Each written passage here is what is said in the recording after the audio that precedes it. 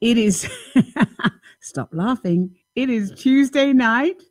And as you all know, this is my favorite time of the week. I am always happy to be here. I'm always happy to be here on Beyond Potential Live Life Your Way because it's an opportunity for me to share my ideas, um, invite new people to the show. Um, and to get different points of view, to see what engages people in their lives, what people are committed to, what they're up to in their jobs, in their careers, their business, and how they got to be the way they are, right? Sometimes I have people on who have businesses that they thought about, knew about that they wanted to do, or careers that they wanted to do when they were very young people. And they have actually stepped into those arenas and they're extremely happy, right? And I am a firm believer that we're supposed to do what we love and what generates us. We're wired for that. And truly, none of us are designed, the human being wasn't designed to sit in an office in a cubicle doing things they don't love for money right? I went to um, a couple of events last week. Last week, I went to a few events, and um, what I heard was if you're looking for a position and maybe you're in school doing an MBA or doing a um, a career, um, so there's I heard that somebody said that companies companies are not interested in what you're up to, right? They want you to be interested in what they're up to. They don't want you being interested in something outside of the job. Literally, I thought it was a myth. I mean, I haven't been an employee for like over 20 years, right? And um, even when I was an employee, I had no clue about this that they literally want your blood, right? And, and I really find it hard to believe. I think I think it personally is an exaggeration in my world, but I don't know if somebody's out there and they have a job and their bosses want their blood. I'd love to hear from you. But anyway, so they want their blood. What I heard was um, if you have a certification, say for instance, you've done CPR or uh, you've done um, some some kind of training that is not in alignment with the actual job, that take you off your resume. They don't give a damn.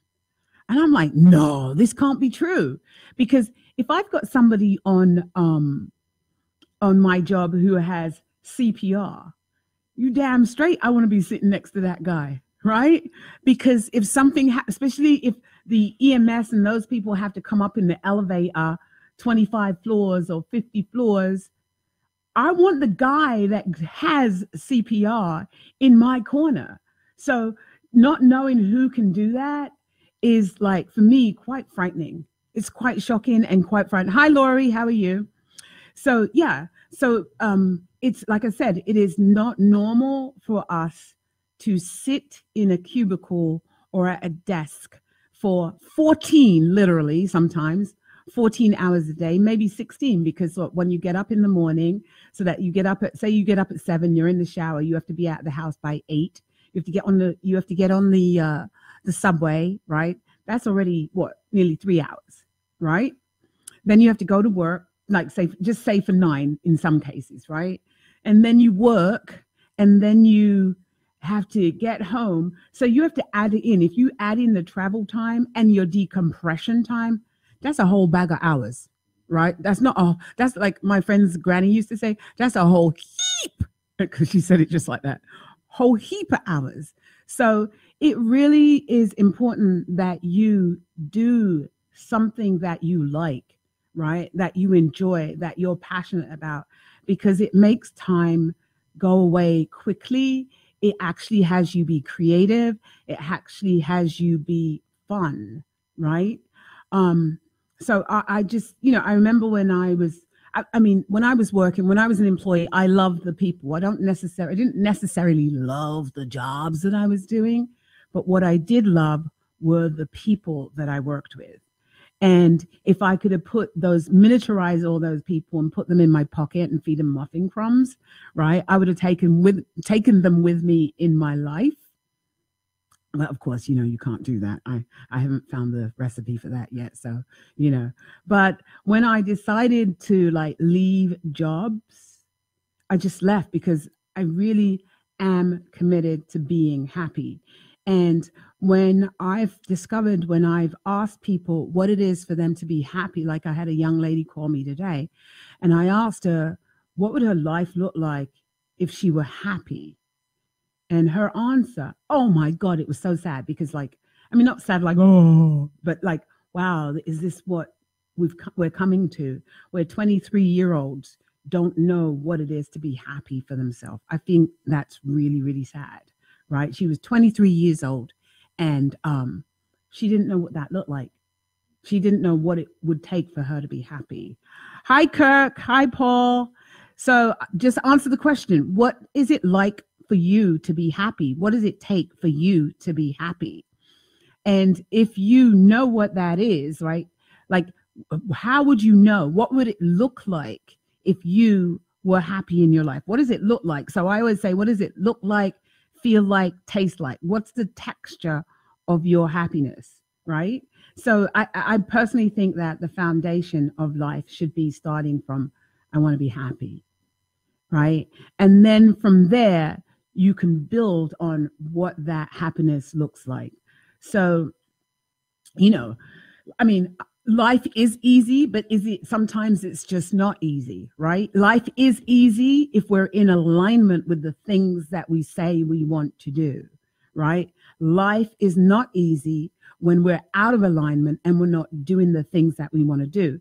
And doing the things that we want to do takes focus, it takes being generative, it takes being creative and and like you like you put it in a you put it in a uh uh, uh, for me, put it in like a plastic bag. Like the plastic bag is the foundation of joy, or the brown bag, foundation of joy, and it holds all the things that you want in your life. So, yeah, last week was a like a for me like a reality, um, not a reality because it's not my reality, but it's not my reality, right? But it is people's reality. Um, but it was a, a, a taste of what it looks like out there in the world for people, some people, not all people, who have nine to fives and um, or have jobs that they're not happy in or trying to find themselves through a job. I always, Irene says, I believe in contentment, not necessarily the pursuit of happiness. I think that is a bit of a bit a bit of an American myth. Say more about that. Like say say more about what that American myth is for you. And you know, you could take the liberty of calling in. And I'm inviting you to call in because you complimented my bird. That bird, that bird that I painted has gone into some, it's gone into an abstract world of I don't even know what. Like, so calling at um, Irene, calling at 877 480 4120. I would like to mash it up with you about the contentment you believe in and not necessarily the pursuit of happiness, right? Well, we've all seen that movie, The Pursuit of Happiness. He was miserable selling those, what was it, x ray machines or some machine that he, some kind of machine, little machine that he was running around San Francisco with. And um, until he discovered and saw the happy people going to their jobs. And he wanted to know what that was about. And he found out. And that was his pursuit. He was pursuing happiness for himself and he didn't know what it looked like until he saw what it looked like. And I think all of us, that's our job. I, I believe that's our job to be happy. I mean, my God, babies come in and all they want to do, like they eat, right? So they like, I say they suck, right? You know, baby bottles or nipples. They shit and they sleep and then and they giggle. They might smile. you know, they might do a smile, but genuinely, if you take care of those basic needs, they're happy. Right. And if you don't take care of those basic basic needs, it's like putting them in a cubicle and tell them to use a computer. Right. So um yeah, call in. I'd, lo- I'd love to hear that. So that was my experience last week. What else has been going on with me? Um, I literally cut my finger You know, I cut my I cut my in between my fingers, right? And you know when you actually have you don't realize how important all parts uh, well I didn't realize how important all parts of my body is until like something is not working the way you want it, right? So here's the thing. I grazed it on the door in my building and now it looks like a corn uh, like like a, a corn between my finger so i have to bandage it and keep it moist another thing that happened to me this week which i'm really happy about i mean i've been consistent but i haven't been i've been consistent and it's one of these things that will show up if i remain consistent i lost at, from april 23rd until today i've lost six pounds right six pounds of chub right? Um, I went to the doctor, she weighed me and she goes, Oh, you've lost four pounds. I said, Oh, really? And she goes, Yeah, oh, that's a total of six pounds in, you know, those many days. And I was like, She said, What are you doing? And I said, Well, I've been drinking water. I've been eating consistently. I've been exercising. And the the hummer, the hummer on what I've been doing is I've been going to bed on time. I've been getting sleep. And so here's what happens when I get sleep. When I go to bed at 9:45, 10 o'clock, 10:30, I go to bed. Maybe I'll do some reading, maybe I'll listen to some meditation, maybe I'll listen to a story, I'll do something. But what I am not doing is eating. I'm not going to the refrigerator. I'm not running across the street to Connecticut Muffin. Um, um, I, I'm not running across the street to Connecticut Muffin to get licorice or some kind of something to put in my mouth, right? Because I have to be mindful what I eat. So sleep has been like a wonderful um, contribution to my life and my waistline. So um, yeah. So if you want to lose weight, go to bed on time. Because not only do you get sleep, but you're, it keeps you at the refrigerator. yes, life, life. I have been experiencing, yes, I have been experiencing some really, hey, Red Cherry, really deep experiences um, over the last week that I literally, like yesterday, just today when I was coming in, I wrote a, um, I wrote a, I put, I put a, um, a variety of pictures of myself on my website. And if you are, let's see, let's see, let's see. If you are, oh, not that one. If you are, if you have access to my website, you should go in and have a look, right? Because um, this is uh, this is kind of like um, me reacting to um, my experiences that I'm having um, in my world right now, right? With some people who are being extremely naughty, for want of a better way to express. So, all right. So, you know what? I'm going to read this to you guys when I come back. All right. So, we're going to take a break and we'll be right back.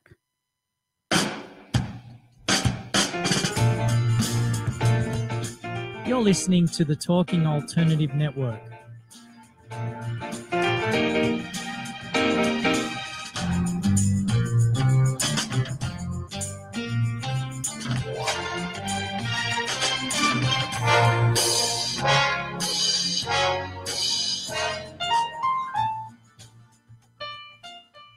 You're listening to the Talking Alternative Network.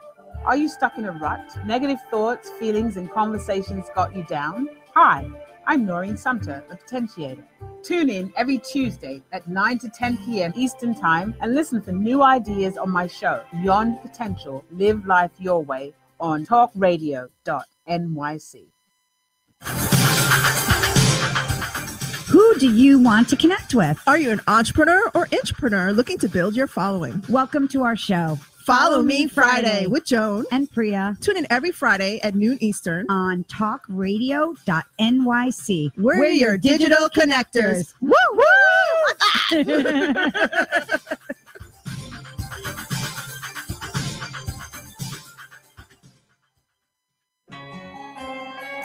Talking Alternative Radio. 24 hours a day.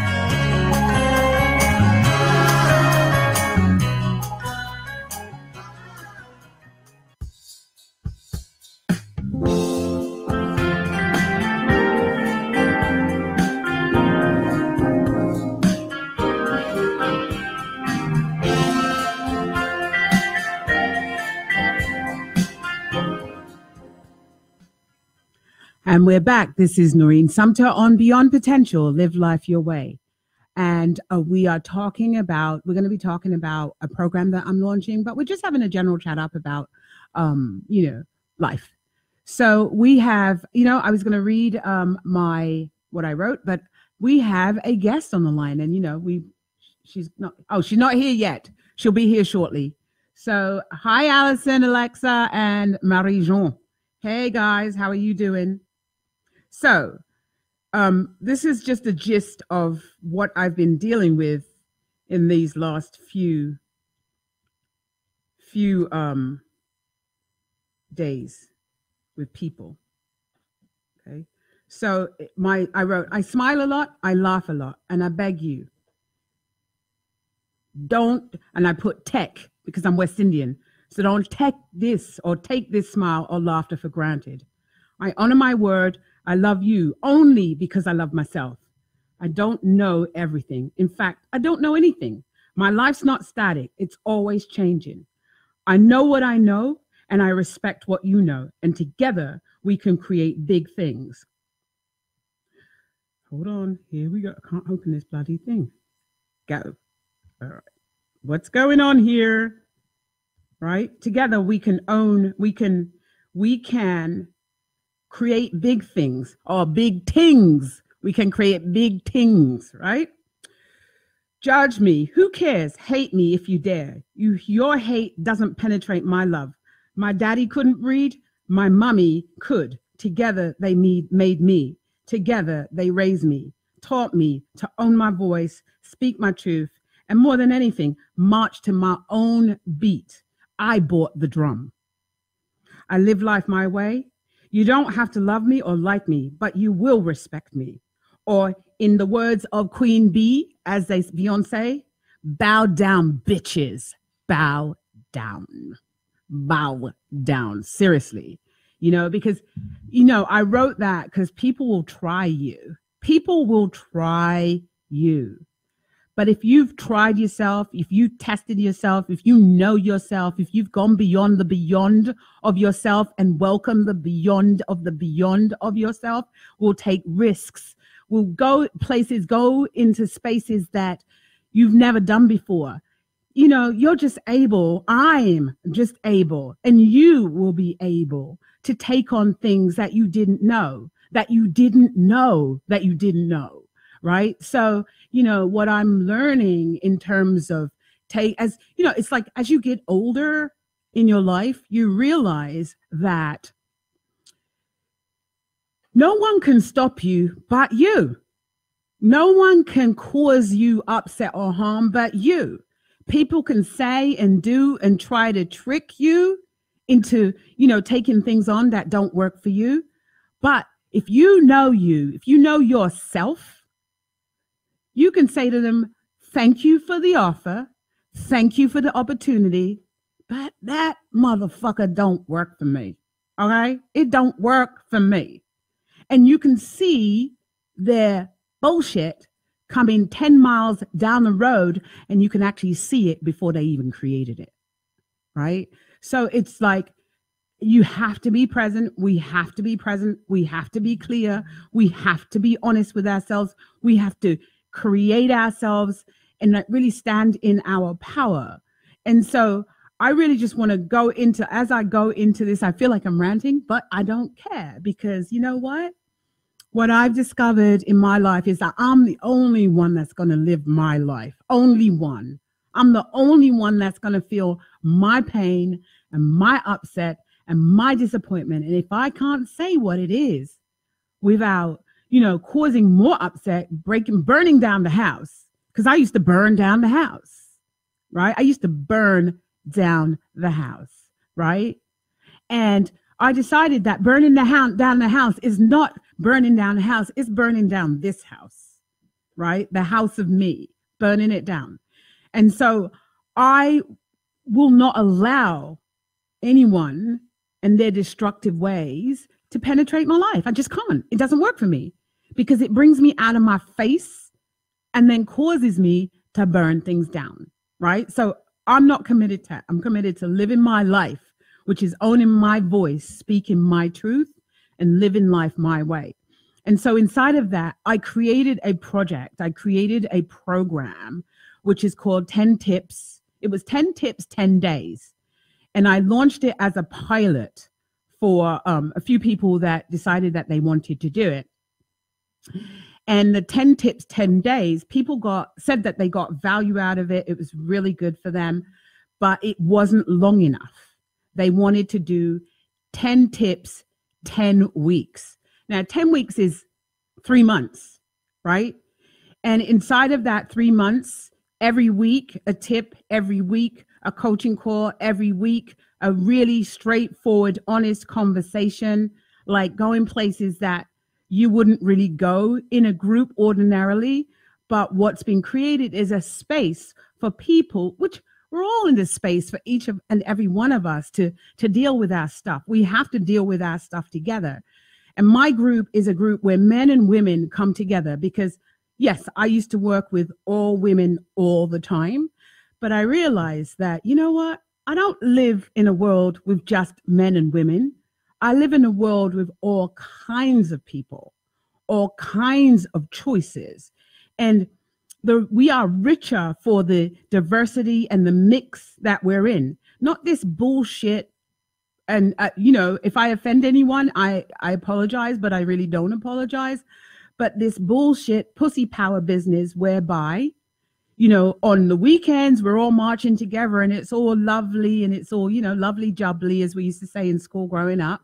But when it comes to Monday morning, when we're back at work, when we're back at the job, competing for the peanuts, right? And you're the little black girl over here, and I, you're the little white girl over here, and then never the two should come together. Never is there an understanding. Never is there, you know, like really like going into courageous spaces, not these safe spaces that we have so created, so space where so safe that we're not communicating, right? Or where we're so safe that if somebody says something and it and it hurts your feelings, you like break down into a cold sweat and start crying. No, we need courageous spaces where shit can be faced. And so inside of this group, everybody comes in to this courageous space and they actually bare their souls. I've had people in my workshop these last few 10 weeks talk about things that they're suffering, like, you know, fighting in court, custody battles, you know, where one person is making my client feel like they're worthless and nothing and making them, you know, women have a hard enough time when they have children trying to decide for themselves whether they're a good mother or not. And then you've got like somebody that you're fighting against. It could be a man or a woman or an attorney that's making you feel like a load of shit when you always feel you feel like a load of shit anyway, right? And you can't like you're trying to have a court case, you're trying to resolve your life. And so what has turned out for my people this people on my course. Hi, Natalie. People on my uh, uh, um workshop is that they're able to like really own their voice, speak their truth. It's that my thing, and live life their way. That means they step into their power. They face that attorney. They feel their pain. They own it, and then they turn it around and use it as fuel to fight for what they want in their life and what is right. And so I've seen a woman that came in confused, not knowing, step into her power where she is now being her own attorney and really stepping into like owning herself and owning her feelings and really stepping into her life. And it's just so amazing. I've got a man in my workshop who is going for a divorce, and his conversation was, I have to tread lightly, right? I have to tread lightly. It's like, what is it? I'm walking on eggshells in my house. And I remember saying to a friend of mine once about walking on eggshells. I was 220 pounds, right? 220 pounds. Can you imagine me walking on a fucking eggshell?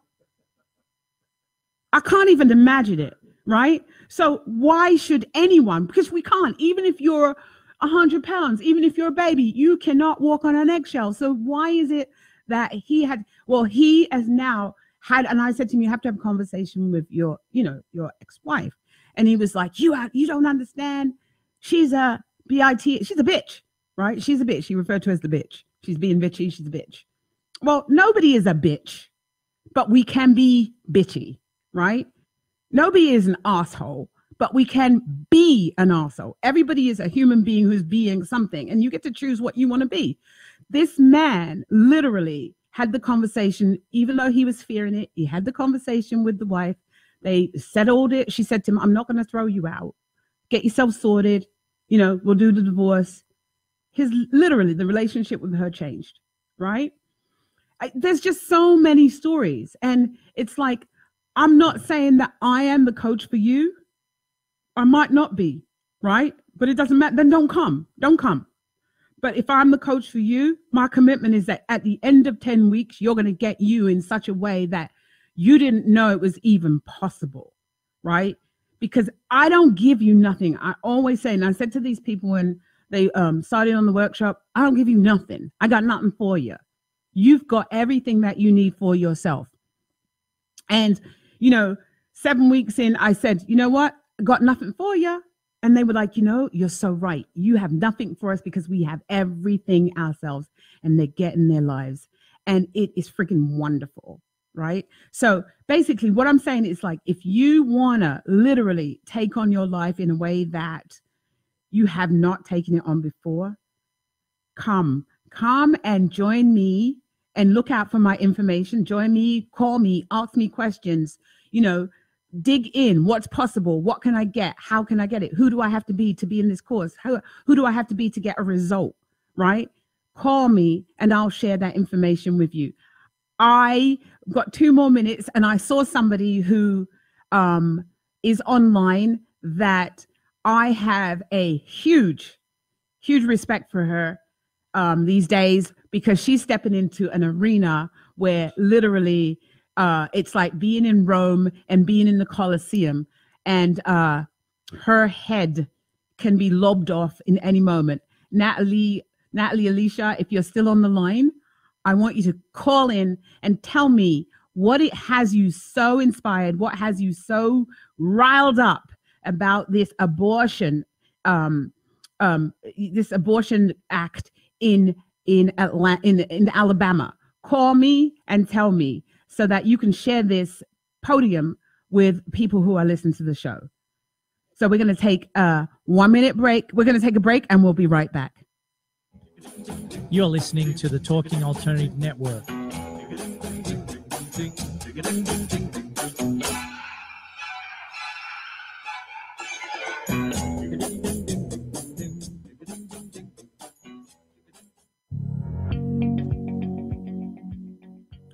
Do you love or are you intrigued about New York City and its neighborhoods?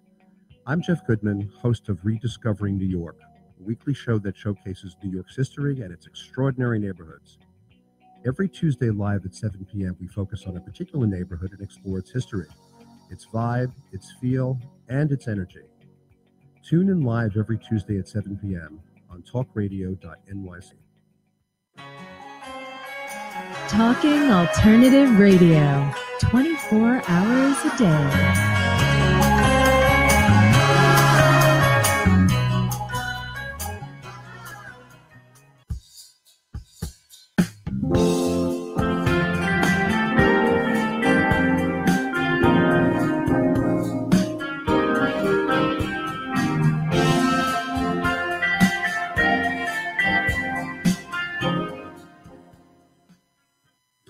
So I was um, looking to invite Natalie Alicia Gold into the um, onto the call um, onto the show because Natalie is in a battle for our reproductive rights as women in America. Um, and, I mean, like, really, where are we going? What are we doing? Are we going back in time? This is ridiculous. This is ridiculous. I just spoke to a woman in New Orleans yesterday, and she was telling me that um, the governor of Baton Rouge or Louisiana just um, um, took equal pay off the table for women. Like, really? Soon they'll be telling all of us that we can't go to work anymore, that they're going to be distributing um, aprons.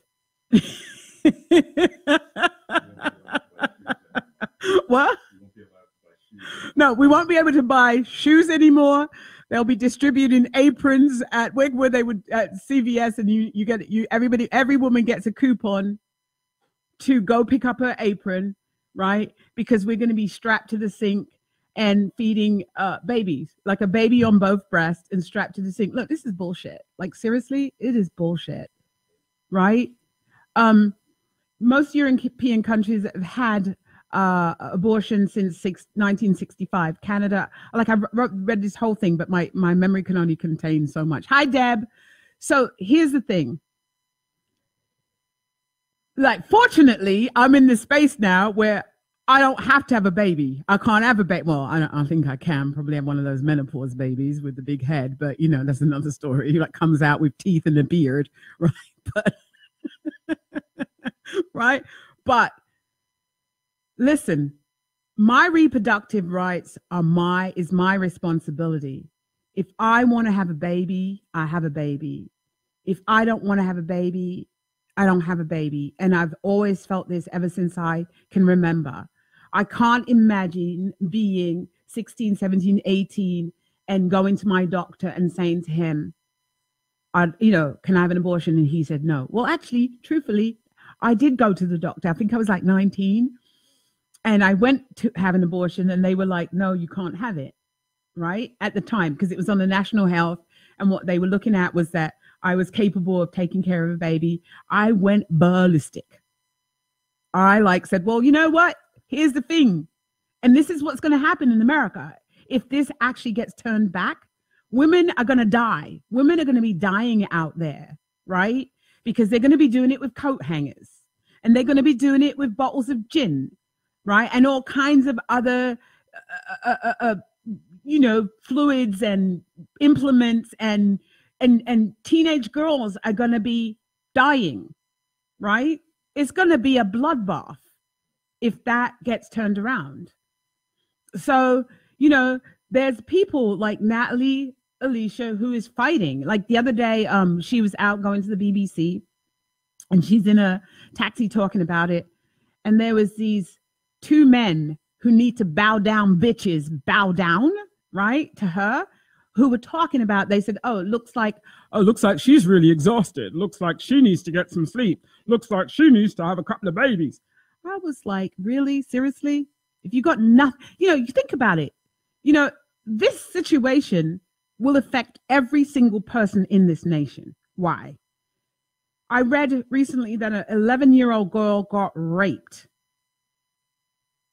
and if this thing is repealed or turned around, she can't have an abortion. So if you're like, if if you're a product of incest, if you get raped, you're gonna have to have your attacker's baby. What the hell is that? What are we thinking? You know what I assert? I assert that this is an opportunity. One, I assert that probably what's actually happening is that the white race is not growing as fast as they'd like it to. the people of color are having babies. And because the this is not, you know, white people are not having as many babies and their numbers are dwindling, they're worried about what is going to actually take place in the future. So if you rip this, I'm just making this up. I don't know if this is true because I really don't read newspapers and I really don't listen to the news and all that. I'm just making this up right? But I believe if if white people are not creating as many babies, these men are fearful that and, and there's a lot of mixing going on, right? There's a lot of race mixing. So purity is not pure anymore, right? And so if they repeal abortion, that's the right word, right? Repeal abortion, um, they can force white women to have babies then it will increase the population, right? I don't really think they'd turn it around for me. They could give really give a toss. They'll give a toss if it if we outnumber. But I think really what it is is because the white race, the numbers are dwindling in America, right? So that's why it's turning around. It's bullshit. It's oh, Irene says you nailed it, right? It's bullshit because what you will be creating is a because what you'll be creating is a race of women or a, a, variety of women who cannot afford to have abortions, who are afraid. And so it's creating another form of poverty, right? Keeping the woman down, another form of poverty. You know what I mean? So this is what's really going on. It's it's like remember Irish people. It was no Irish, no dogs, and something else. I don't remember the other thing. No Jews, right? And again, when the race probably started to dwindle, you add in the Irish, right? You add in some dogs. No, I'm kidding, right? and then later on, maybe, maybe, maybe some Jews. But you guys have had it pretty like rough, right? Because like you're like the scapegoats, and like you're sort of in the realm of with the blacks, right? Um, so I think that's what's really going on. I, it's not a real legitimate and it's a woman. It's an old white woman that's trying to. Uh, what is that? It doesn't make any kind of sense to me. So it is time for us, I would say, like to wake up. Our little itty bitty problems that we have, that we there, there are a gazillion programs out there, mine included. There are a gazillion workshops that can help you wake up. You just have to find one. But the fact of the matter is, we need you to wake up. We need to wake up as a race, all of us, all of us, right? We need to come together. And when I say come together, America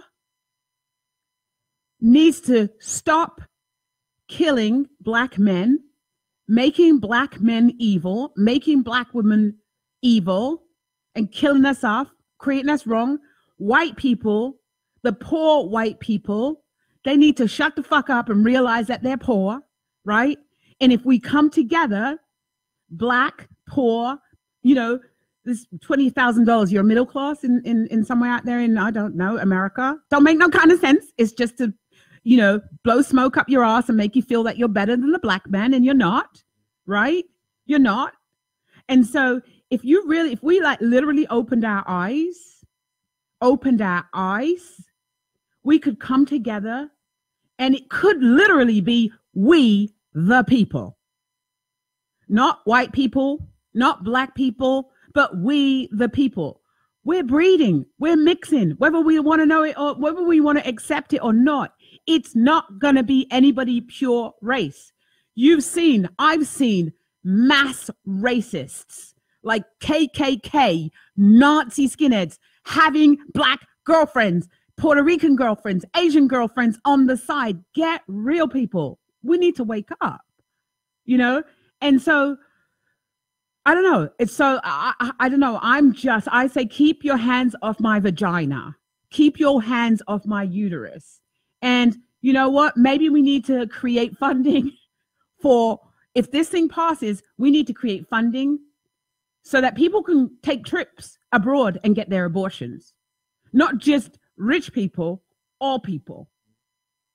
Right? Because we can't like women are just beginning to find their voices, get some freedom, have our choices, like really step into it. And uh, you know, we can't go back. We cannot go back. What is Irene? We need another march on Washington. Honey, we can sit right here on our computers. We can shut cities down. We can walk to work. We can shut down the the the the the parts of them, you know, that make us stronger. Like if we shut down the MTA, if we all decided that we're not going to do MTA and we bike to work and we carpool to work, don't you think the MTA could be clean in in less than a week?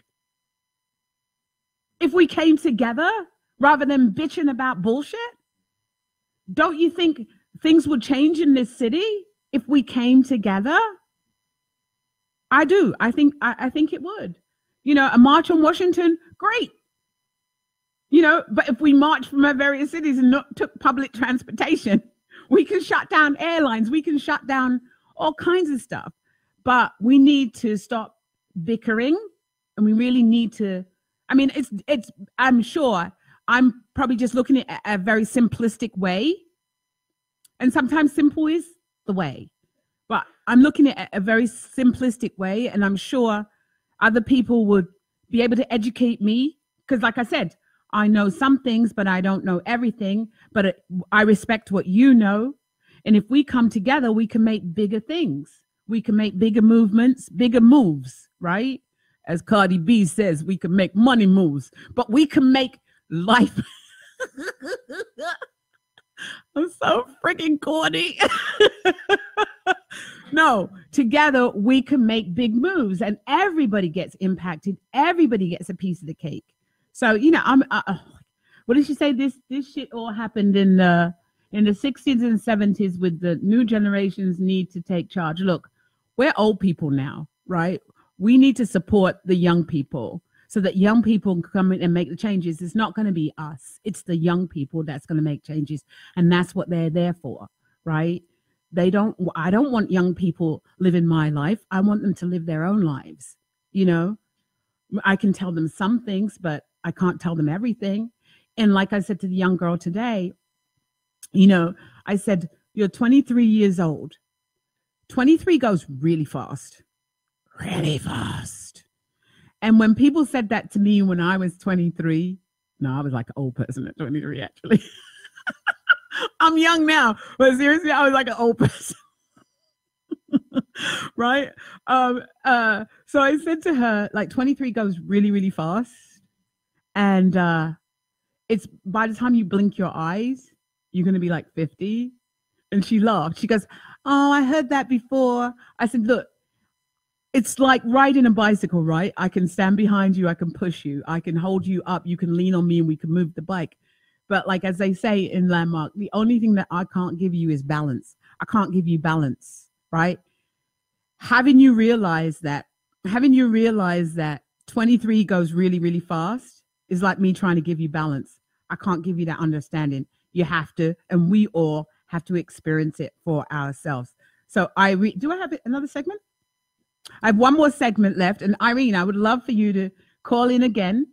And uh, they are bad. The the new generations are badass, but we we've we've left them with a raw deal.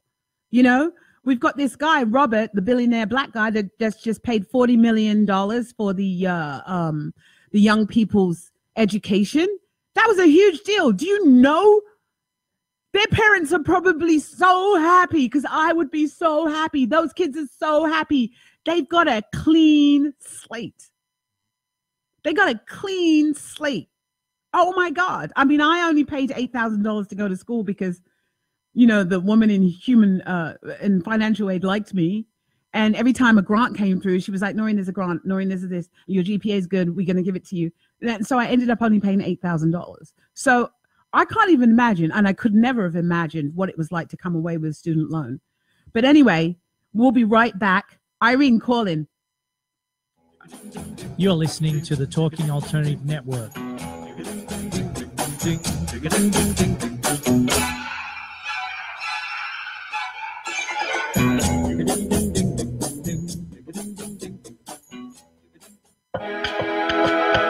The best designs for your life start at Home. I'm David Thiergartner, interior designer and host of At Home. Listen live Tuesday nights at 8 p.m. Eastern Time as we talk to the very best professionals about interior design and the design that's all around us, right here on talkradio.nyc.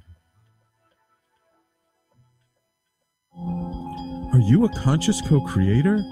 Are you on a quest to raise your vibration and your consciousness?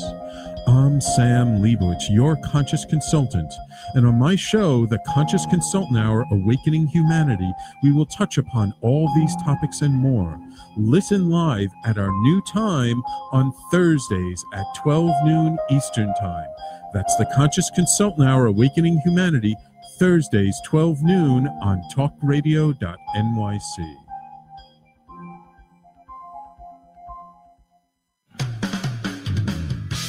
talkingalternative.com.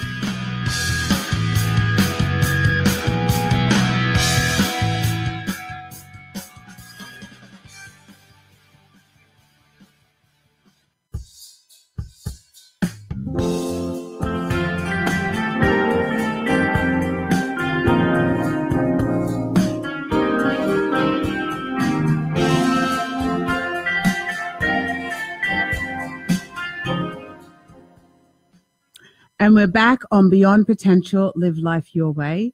Um, and we have Irene Anderson on the line. Hi, Irene. Hi, Noreen. It's so nice to see you live. Thank you. You have such incredible energy. Oh, thanks. I, I mean, you know, I, I if I had a dollar for every time someone said that to me, I wouldn't have to go to work. I could just sit home and eat bonbons and watch um, Family Guy. Coronation Street, maybe. Coronation Street. Are you crazy? no.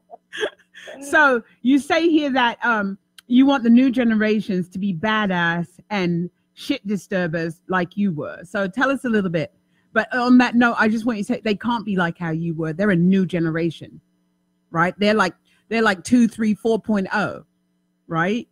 So what would I'm you? not so sure that they're that different. I have a daughter who's 30 years old, Mm-hmm. and she grew up on picket lines Mm-hmm. with me, Mm-hmm. and I protested every. I was a union uh, uh, Rep. representative back in the day, and I've had many roles in my life, but for 20 odd years, that's what I did. Mm-hmm. And she, from a very young age, Mm-hmm. Was with me, or even in the womb, she was with me on the picket line. Mm-hmm. And Kicking. see, although she and I are very different, Uh-huh. that she has inherited that kind of activism that I believe still one needs to get out there in the public eye and not necessarily just online, but in the public eye and putting yourself out there so that everyone can see that they can see like the young woman in Florida after that uh, horrible, horrible shooting Mm-hmm. came out and talked in public about what her experience was. Mm-hmm. That's the kind of activi- activism I want to see from young people. Not just behind your desk, online, signing a petition, that sort of thing. That doesn't, re- I, I, I really believe, I, I honestly believe that's not going to get, I mean, it, it, that's part of the, the solution, Mm-hmm. but the biggest part of the solution is putting yourself in the face and the, Yeah, but everybody And- does it differently, though, right? front There's so many different ways to politicians so that they can't ignore you. Right, but there's so many different ways to to be active. So many Yes. different ways, right? So she chose to come out and share that. But Yes. somebody who is sending out that petition and making sure it's signed is doing what they're doing. Somebody else is doing another form of disturbance. Somebody is out there, you know, some people are out there. Um, I was out in Times Square last week and young black children were talking about schools and the different kinds of um, teaching and how the teachers were being and how they're not being taught the way they would like to be taught. And these kids were out there and they published a paper and everything, right? So, you know, you got to get there. There are a lot of different um, causes that people are fighting for, right? Yes, you know what, Noreen? I think what's missing Mm-hmm. is back in the day when we were protesters and, and doing what we did, Mm-hmm. we had um, people. I only went to rock against there's- racism. There's, you know, a, a very pronged approach to Uh-huh. to getting to the result that you want. And so, yes, protesting on the streets is one of them. Writing petitions, uh, and now back then we didn't have the internet, but you know, there's a lot of different ways that, that one can get your message across. And I think that our younger generation needs needs and, and needs the tutelage, I guess, if you want, of the older generation to understand that there are many, many ways in which to Agitate. get your message across. Yeah, but I'm gonna say this, right? I don't know. There used to be this thing is like when I was growing up, is don't trust old people. right? So today I am now one of the old people. no, you're not. You're younger than I am. Well, you might be surprised, okay? um, and so young people have to do it their way. I'm not gonna, if they ask me my thoughts and opinions, I'm gonna say yeah. But like you gotta remember when you're younger, you have a you have a lower fear factor, right? So you'll throw yourself out there and you can do all this stuff. But as you get older, as we can see, the people from the 60s who were out there and you know, free love and flower power, flower power, and you know, ban the bomb and you know, uh, contraceptives and all this kind of stuff. Most of them became corporate people, and they forgot. A lot of them forgot what they fought for, right? And they raised comfortable children, right? Who are, you know, privileged, right? It's not. Look, the kids have just got to do what the kids have got to do because you know we're old and tired literally we're old and tired and this is their world and we've made a cock up of it basically we've cocked it up right? And so this is what we've left them with. Garbage miles and miles of garbage violence aggression racism sexism all kinds of stuff. This is what we've left them with.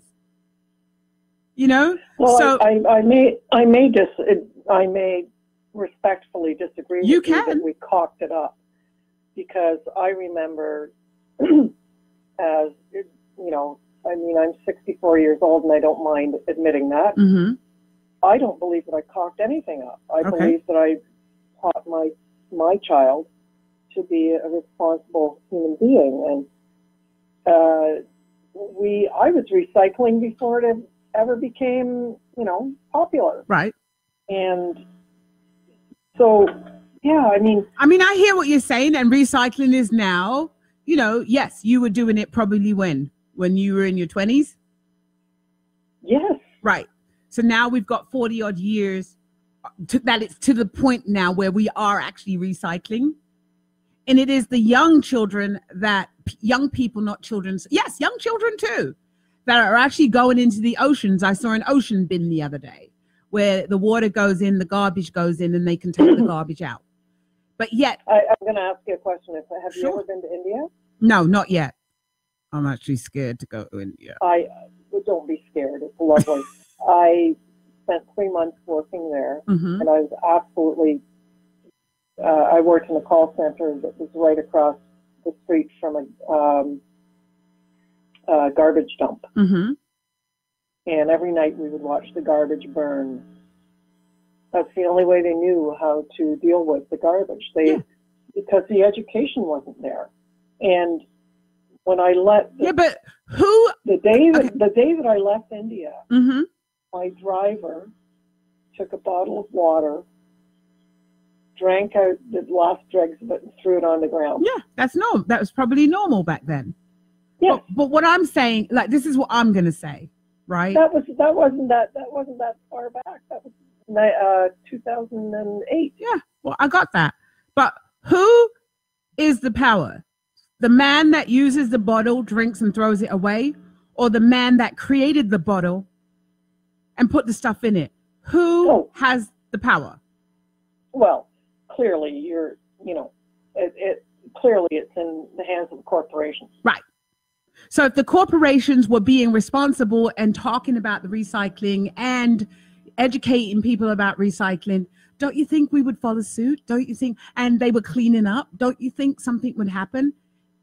That man's just doing what he knows to do. Yes, And the kid that created the bucket or, you know, the sea bucket or, you know, is like cleaning up cleaning up the ocean with all the miles and miles of toothbrushes and shit. Right? A lot of those are young people that are doing their best. Oh, and they're doing um, they're they're doing some marvelous things, and Right. I absolutely applaud what they're doing. Right. And uh, So they can't I just I feel over. To be honest, I do feel overwhelmed that our world has gotten to a state where women's rights are are being subjugated. But but we know why women's rights are being subjugated. It's all down to race. White people are becoming outbred, fear mongering, right? If if black people were being outbred, abortion would not be abortion would be legal and and and corporations would probably pay for it. Okay? So we got to call it what it is. And covering it up, you know, it's like say putting icing on a mud pie does not make it a pie. It's just pie with icing, aka landmark, right? And just And to I'm use not- that. not- So we got one we got one more minute, but I really I just want to say quick if you could say it quickly so that we can say our closing remarks and I can thank you for coming on the show. Well, it's been lovely speaking with you. I am just amazed at what you have accomplished. You're doing a great job. Thank you. Rock on. I love you. I love you too. Rock on. So this is Noreen Sumpter signing off from Beyond Potential, Live Life Your Way. And we can only save ourselves, save ourselves so we can save and protect and take care of each other and the world. Because you know what? When it spits us off, the world will still be there and it will really replenish itself and recreate itself, but we'll be dead. Night. You're listening to the Talking Alternative Network.